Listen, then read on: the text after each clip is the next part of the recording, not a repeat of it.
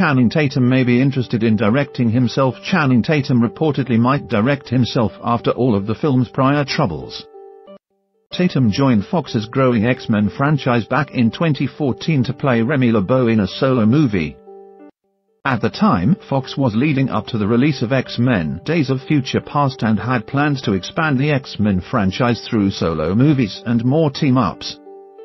Despite having Tatum firmly attached to play the Raging Cajun, has struggled mightily to make positive steps with set to hit theaters in 2016 originally.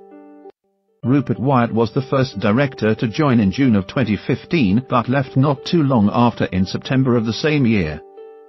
After looking at several high-profile names Doug Liman became attached in November 2015 and stayed on board for nearly a year before departing in August of 2016. Gore Verbinski then signed on in October 2017 and development appeared to finally hit its stride but then Verbinski also left at the start of 2018. It has now been over a year and no replacement has been named and apparently Tatum may just do it himself. Deadline revealed this piece of information as part of a story about Tatum changing his talent representation.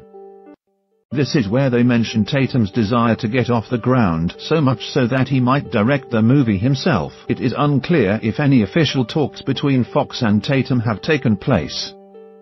Tatum is already set to be the star and a producer on, so his involvement would only become more prominent if this did happen though to actually make this possibility a reality.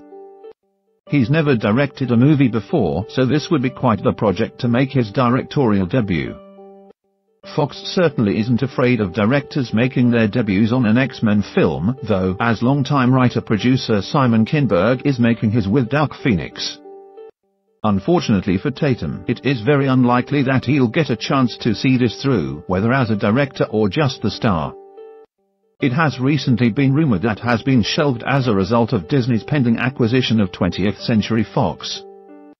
This deal will result in all Marvel characters and properties being brought under the Marvel Studios brand. Kevin Feige's plans for these new characters have yet to be revealed as Marvel cannot legally do so until the deal closes.